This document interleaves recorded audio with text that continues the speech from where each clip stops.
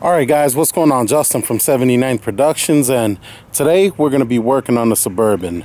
Now, I had someone come take a look at it, and it is the transmission. I'm going to need to rebuild the transmission, so we're going to go ahead and uh, pull that the transmission off. I got a buddy of mine coming to help me today, and uh, once he gets here, we're going to get started, and we're going to try to get this thing off. He can't stay too long, so try to get as far as we can and then uh, I'm on my own from there. So yeah we're gonna get to it pretty soon.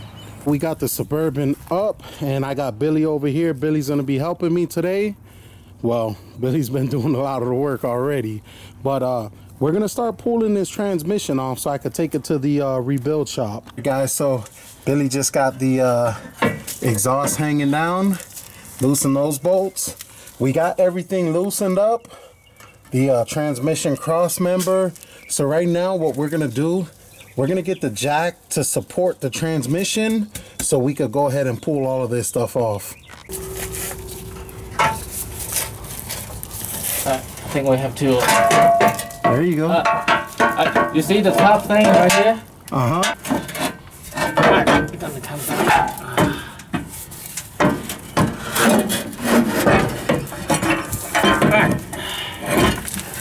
almost got my nose. Alright.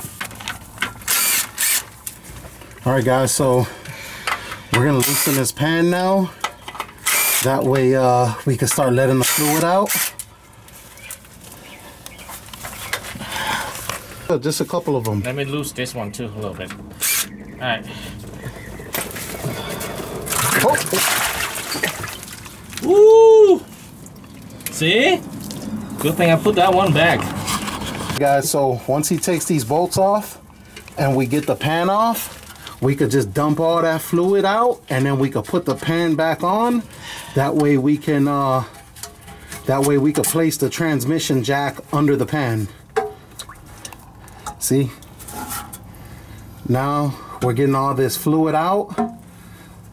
I mean it kind of spilled out everywhere but we have this tarp on the ground so it's pretty good. We really didn't make a mess. Wiped it up and uh, we're getting there with this uh, transmission removal. Alright guys so we uh, got this fluid out and we're getting ready to in the process of dropping the pan but just wanted to show you this guys. This transmission fluid is just completely black. Now there was shavings in the bottom of the pan but not shavings but a little bit of metal. But yeah we could see why this thing uh why the tranny started acting up. So we got the other jack out and we got the transmission jack under. It is super hard to record this but uh I've been pulling stuff out. I've been pulling stuff out little by little. I've taken the uh, gear selector off and uh, we're about to move up front and take the uh, torque converter bolts off and uh, starter off. So we're doing this little by little. We removed the starter and we had to remove the starter to access the torque converter bolts. And what we're doing now we're spinning the crank. That way that way you can see Billy see if it's going up enough? Let me see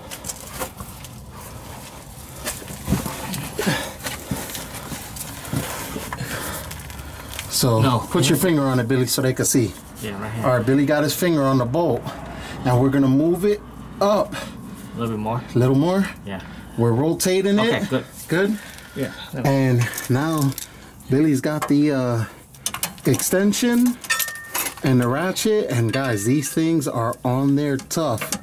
They're on there tight, so you're gonna have to really get after them. He's using a uh, he's using the jack handle to kind of get some leverage on it. So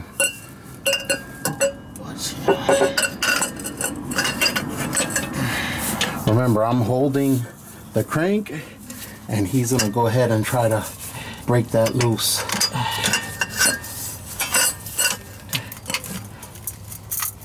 There we go, he just broke it loose. And now he should be able to he should be able to get it by hand. There we go. And there's three of those torque converter bolts. And once we get those loose the torque converter will be uh, freed up from the flex plate. And we'll be good to go. We can remove the uh, transmission bolts right guys so I'm about to take the uh, transmission bolts off and this is how I'm going to uh, get it off. I got five extensions on here a small one at the end with a little swivel and uh, that's gonna help the uh, socket position itself onto the bolt. Uh, this is the hardest part of the job guys. All right guys so we got the uh, ratchet on and uh, that extension we're up there. I already broke the bolt free and it's turning and we're just gonna we're just gonna take those off and let them drop down. Doing this with one hand so I'm gonna stop recording and uh, get that bolt off. You can see it's turning and I'm super excited about that. Now we just gotta go ahead and get the other side off. We're, we're here. Ah there we go. It just broke free.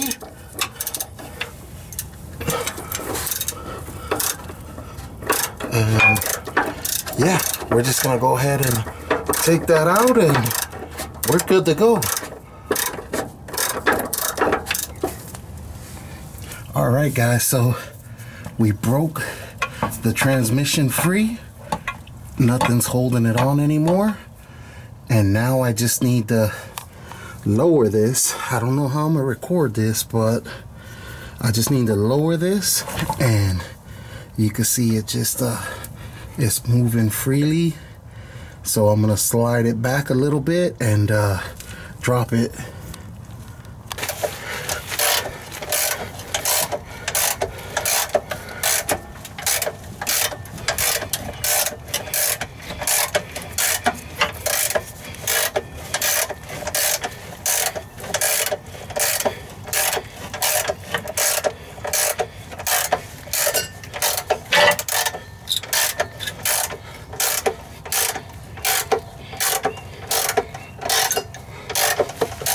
all right guys? So we got this thing down and I'm super excited about this. This transmission this transmission jack came in uh handy and now I need to get it off this transmission jack but I think I need some help for this because this thing is pretty heavy. All right guys so we got the transmission out and I am super excited about this. This was not easy and yeah it, it was a it was a, a, big job getting this thing out but I'm excited that it's out and uh, we're gonna keep moving forward. All right guys so while I had the uh, transmission out I went ahead took the flex plate off changed the rear main seal I did this off uh, camera because I kind of really need to get this done I really need to get this done. I changed the oil galley uh, plug and this thing was kind of hardened so I changed that. I took it out to inspect it put a new one in. It was only eight dollars so might as well have just put the new one in. But yeah I changed the rear main seal. This one I mean it wasn't leaking. It was showing signs of like seepage towards the bottom but it didn't really have a leak. But while it was out might as well put the new one. So I did that all right guys so I got the transmission back in from the transmission shop and it was about a week turnaround and I'm just ready to go ahead and throw this thing in. So we're gonna go ahead and put it in and let's get this thing running. All right guys here we go. I'm getting ready to put the transmission back in. Now guys I just went ahead and had this thing rebuilt just for peace of mind. So It's got a new pump. Everything in it is brand new pretty much and uh, super excited about this and we're gonna go ahead and get this thing back on here. All right guys, so we're here just lifting up the tranny.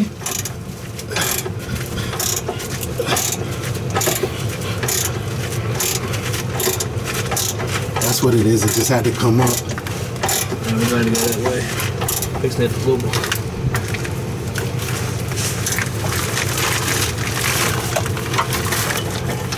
more. You can come forward some more.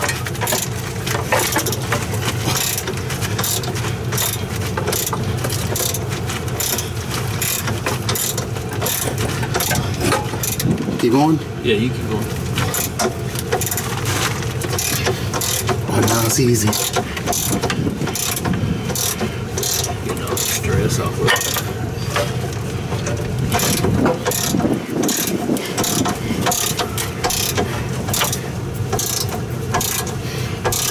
Keep going? Yeah.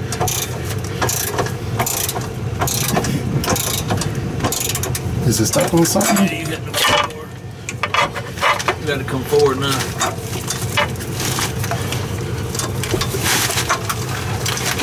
Back. Now push it forward. Uh-huh.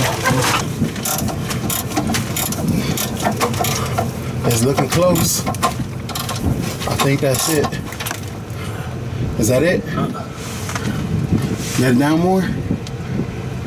Yeah. Transmission's got a twist.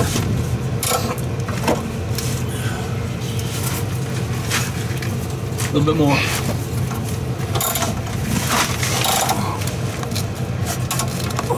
Let it more? Uh-huh. I think that's it. Is that it? Feels like put a bolt in it.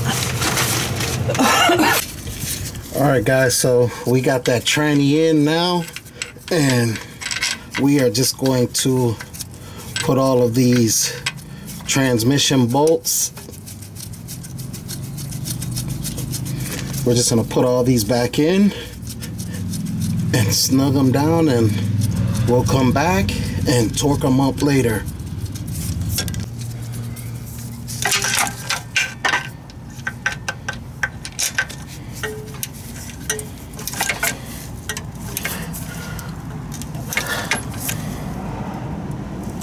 All right, guys. So for these, I'm using this uh, this deep socket that I cut the tip off of, and that's allowing me to get behind these body panels or the firewall. So it's a little snug, but we're good there.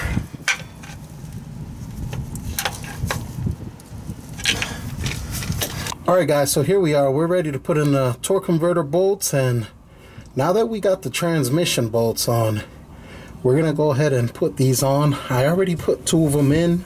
Now, guys, there's a uh, there's one that you need to start with. That let me see if I could position this camera better. But see, these are big circles. There's one that you need to start with that kind of got flat edges on it. That's the one you should start with so the rest of them can seat. Let me try to, guys, it's really hard to do this with under here with one hand and and the camera. But yeah, we're gonna go ahead and try our best.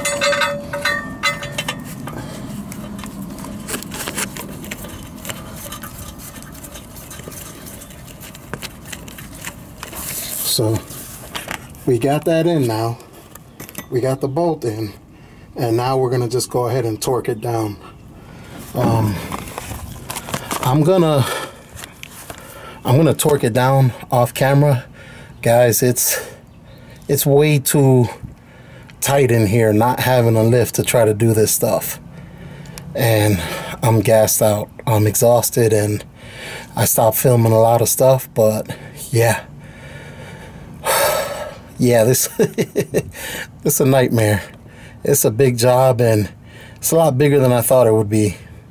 All right, guys. So got the new tranny lines. I'm gonna install these before I start putting all the cross members and exhaust on. I'm just gonna put them in place because it's gonna be a lot easier. I'm gonna do this off camera. There's no way I could show this to you on camera, but it was a lot of moving this line. I ended up actually just cutting to leave on the radiator because I am going to change the radiator as well and it was kind of hard to get to it so I just cut it just to make it quicker since I'm not using these lines but here we go guys uh, we are going to change the transmission lines and the radiator just to get all of that old clutch material or whatever burnt up the metal in the transmission out of those lines. Might as well replace them all while we're here. And these were I think like 80 bucks so it's cheap insurance just to do this. All right guys so we're getting ready to put the uh, transmission cross member on. And we're just gonna go ahead and slide these bolts through here and get this thing situated I gotta you gotta kind of pick it up and do both sides at the same time just like that. It's a it's a real challenge to get this thing especially laying on the ground like this but we just got it in there. Yeah we just got it in there and I'm gonna have to uh, put this other bolt in and I'm basically gonna just lift this up and try to slide it in from this side. Hopefully I could get that in. There we go. Got it. And whew, got it in and now we're just gonna go ahead and uh, snug it down. All right guys, so now that we got the uh, transmission cross member on, we could go ahead and uh, take the take the transmission jack out. Um, come a long way and I'm super excited about this. This thing's coming down pretty slow, but yeah, we got the uh, cross member supporting the uh, weight of the transmission. And guys, we're uh, we're almost done. I am very excited about this. It's such a long process but you save some money doing it yourself. But honestly, thinking back, I don't like doing this job by myself, so it's just one of those things. If you have the money, spend it. If you don't, do it yourself. Now that we got this cross member in, we're just gonna go ahead and tighten everything down. All right guys so we got everything installed. Transmission transmission mount the exhaust got the drive shaft done. Now so I put new transmission lines. I got them hanging in the front. I am going to swap out the radiator that way there's zero risk of getting any of the old transmission fluid the medical the metal particles that were in the radiator. We won't get none of that in the transmission so everything will be brand new. All right guys so we're getting ready to take the uh, radiator out. I already got the fan out and the lines out. Now I just got to take these two bolts out to pull this out but yeah I took all of this stuff off to uh, get the radiator out. I mean seems like a lot to do this but it really wasn't that hard at all. So it's just uh, a bunch of little things and it's it's not time consuming but it's just knowing where everything goes back and knowing where everything's coming off and you know so I'm really just taking my time with this to get it right all right guys so we're gonna go ahead and pull this uh, radiator out pretty easy. It's just time consuming, like I said.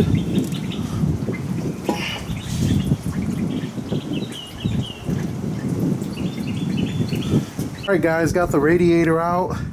Good thing I pulled it out. This thing looks filthy. Uh, gonna replace it. This was very easy to pull out. It was just a process and it's a little time consuming because I had to disconnect all of these hoses and take brackets off and take the fans off and take the uh, air box off and I mean it's easy it's just time consuming because of all the because of all of the little things you got to do but we got it off and uh let's get the new one on.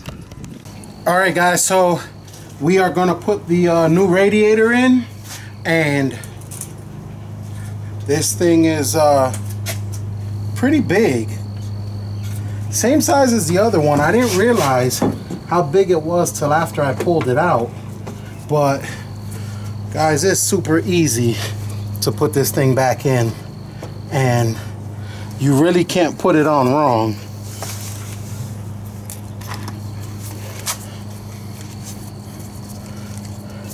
Yeah, it's super easy.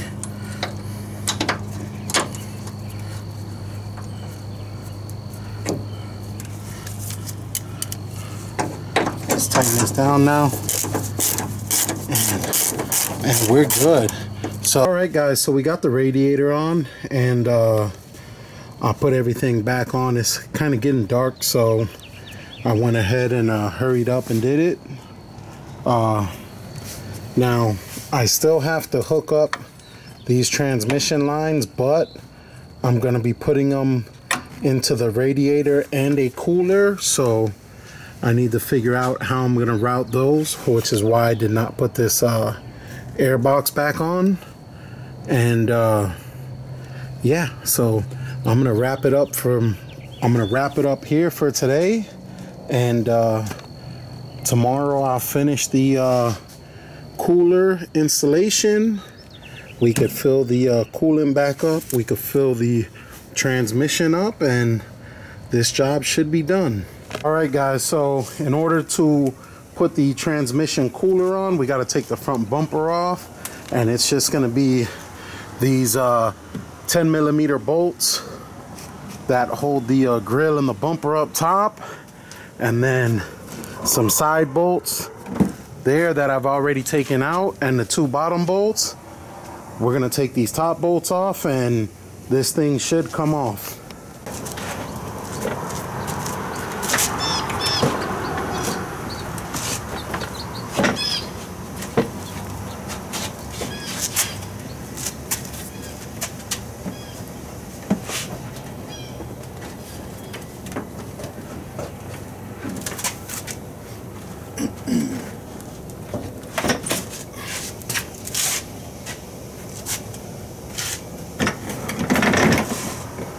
all right guys so we got the uh, front bumper off and getting ready to put these cooler lines. Now this line looks like it's supposed to come through this hole right here. So I'm gonna have to take this off. It's just a couple of uh, 10 millimeter screws bolts but we're gonna go ahead and take that off so we can uh, set that line through there. All right guys so I could not get the second line in without taking this piece off. And to do that, I had to remove the headlights. yeah. I mean, this little tab right here was stuck behind the headlight. And uh, now that I got that out, this piece just comes and you've seen the, uh, the line just drop. So it's gonna be a lot easier to work with that. You got the uh, I want to say they call this the auxiliary line. Now this piece is going to go behind the radiator and this piece is going to come up in the front into the cooler. And guys, these transmission lines are steel, so you can see why I was having a problem fitting that around that uh, bracket. So now I can just place this on and it's going to be super easy. All right, guys, so finally got these things in and I was fighting with it. I had this top line flipped around. I was using the other end up top, but this is how it actually goes in so I just snapped that line in and when I was using the other end it was just stuck on this hose and it just wouldn't work and I was like why is it not seating in this little clamp here and you know it wouldn't now this one that comes with the line is a little bit longer so I'm gonna put that one on there. But I just kind of wanted to get those in and now that I got the lines in place I could go ahead and put the uh, new transmission cooler on. So here we go guys. We got the new transmission cooler sitting here. Came with uh different screws brackets came with some uh, line some holes and uh, we are gonna go ahead and uh, put this thing on. Made some brackets. Well I bent the brackets that came with it and screwed it onto this bar. But I'm gonna put I'm gonna hook it up to the factory lines. I'm gonna put the cooler in front of it and kind of position it out a little bit to where to where I think it would not hit or, or rub on anything I mean I might have to I honestly might have to do this a couple of times. And right now I'm just getting everything into position just to see and then I'm gonna run the lines behind it and come up into the top right here.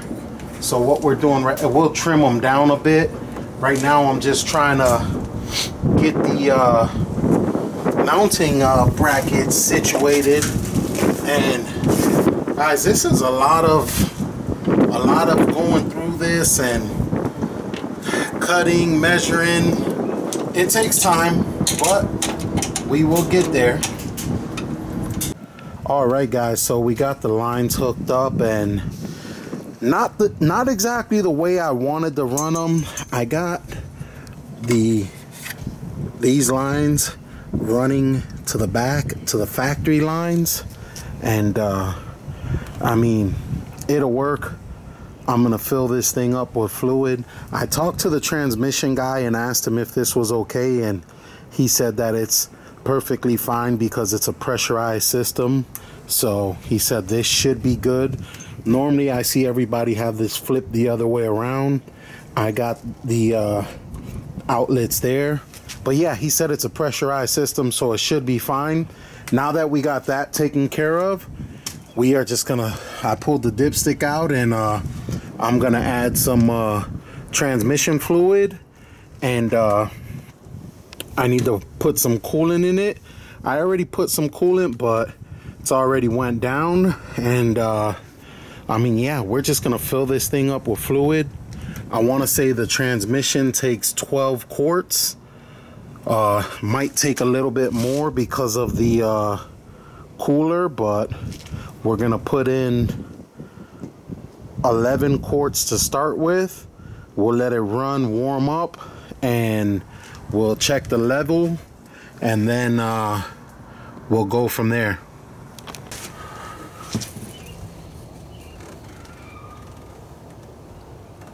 All right, guys, so this is the second jug and this is eight quarts and we got another jug and we're gonna keep going.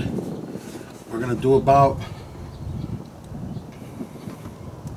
10 11 quarts and we're gonna see where uh, where it is when we let this warm up. All right guys so for coolant we are just uh, putting some uh, Dex Cool in and we already put a bottle of this. We already put a gallon of this and uh, I mean it, it's taking it all the way down. I want to say that radiator is empty. I'm probably gonna need probably gonna need like three or four of these.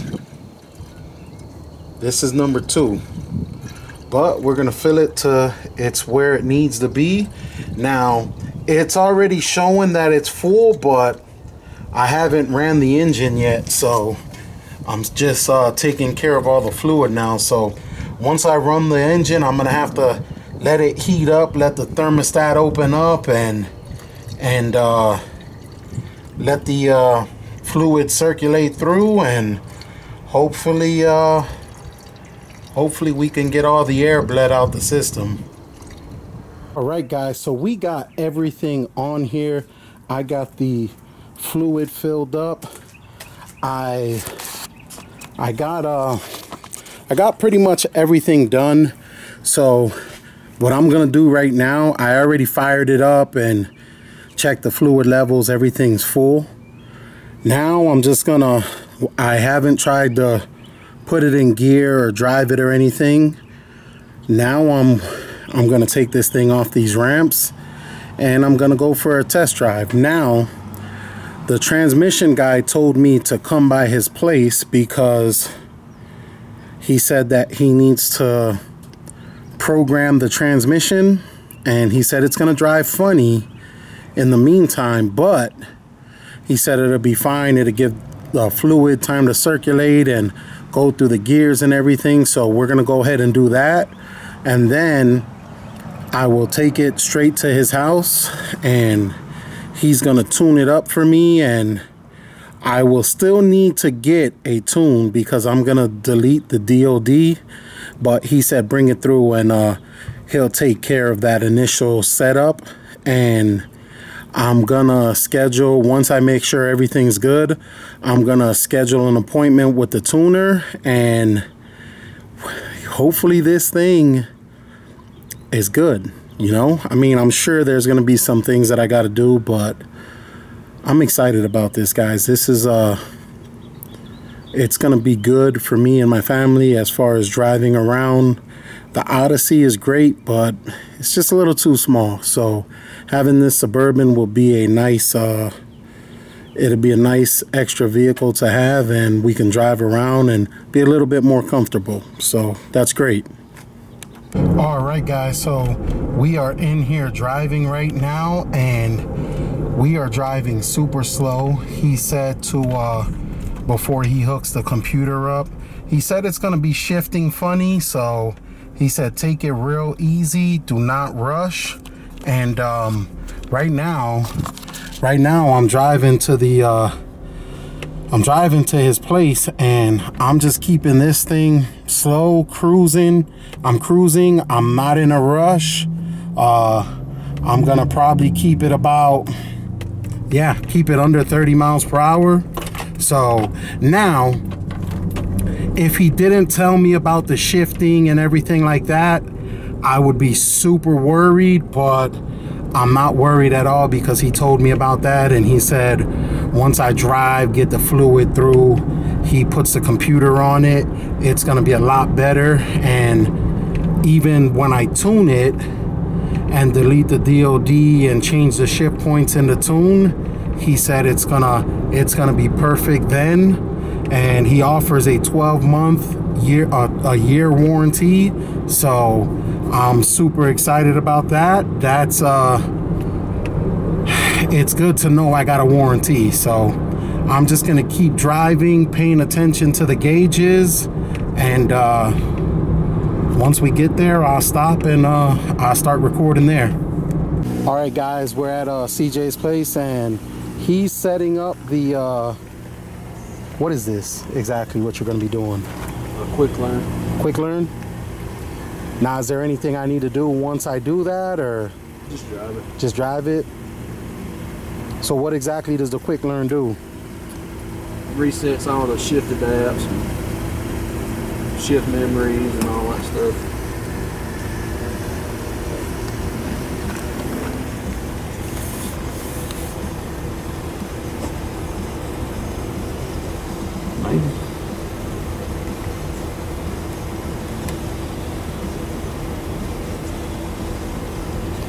How long would I have to drive it for it to kind of learn?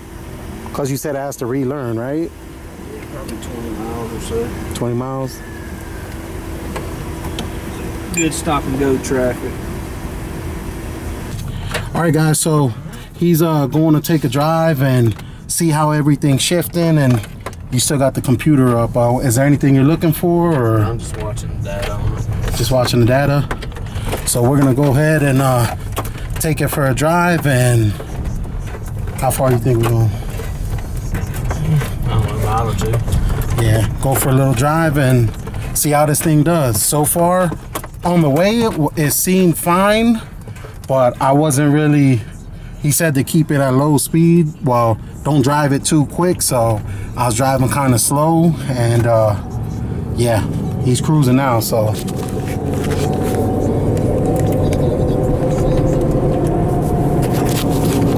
All right, guys. So I've been driving this thing after he reset it for for about an hour and a half now, and the trans temp hasn't went up past 140 degrees. So I'm um, I'm very happy with that. He said that trans cooler is actually really good.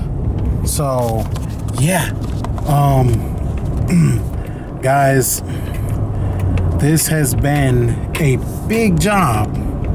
It's been a pretty big job, but I have to say, now that it is done and I got this thing driving, it is pretty pretty rewarding. So, I mean, I'm happy and I'm not that much into it. I'm gonna keep driving this thing and um, we'll drive it another couple of days before I put out this video and we'll see how it goes. But the transmission is running very cool and the cooler is doing its job and everything is working. I don't see any leaks, so it looks like we're in good shape. All right, guys, so we are done with this transmission install. I've been driving it around now for a week and this thing is running great. Super excited about that. Guys, I want to give a big shout out to CJ. I'll uh, link his information in the description. He's the guy who rebuilt the transmission. Guys, I'm excited about this. I am into this Suburban pretty cheap. Now, I was looking around for transmission shops and guys, the cheapest that I found to rebuild this was CJ. And uh, most guys wanted three to five grand and he was at the three grand range and I, I didn't have it. I messaged around. I messaged him. I said I asked. I said, "Hey, uh, you know, would you be interested in any trading?" And he said, "It depends. What do you got?" And I uh, I had a uh, LS engine that I had that I pulled out of my Denali, that old Denali that I had, and uh, he was like, "I could. I'm definitely looking for a 6.0," and me and him you know, started messaging back and forth, and he said he can do the transmission for a thousand dollars and the LS engine. So I only got a thousand dollars into the transmission. Now I didn't have anything into that LS engine, but you know, I was gonna use it for another project. But this is way more important because this is for me to drive my family around so i needed to get this done and for me that end up working out great so right now into this suburban between buying the cooler the fluids the lines rebuilding the transmission buying the suburban i got about 2500 bucks into it. And guys this was a necessity for me. So i'm super excited about that. $2500 into a 2010 suburban and i got a rebuilt transmission on it. So i'm doing pretty good so far. Now in the future i want to buy an engine on the side. There's nothing wrong with this engine but i want to buy one and rebuild it and go through it because this one has 260,000 miles on it so I want to rebuild it go through it because this is going to be our family road trip vehicle. So we're going to go on some long drives with this thing and that's what I that's what I bought it for, you know, so we can do that. So, but that's gonna be it, guys. Don't know what I'm gonna do, what else I'm gonna do to it in the future because it runs so good and it drives great. I don't know if I wanna turn this into a project, but I don't know. Let me know what you guys like to see. Would you like to see some wheels go on it? Maybe lower it? I don't know about lowering it, but we could do some other stuff to it. But let me know what you guys would see and uh, leave a comment. And uh, we're to wrap this video up here, guys. That's it. Thank you for watching. Like, comment, subscribe. Follow me on in Instagram and Facebook at 79 Productions. And I'll catch you guys on the next one. God bless you guys.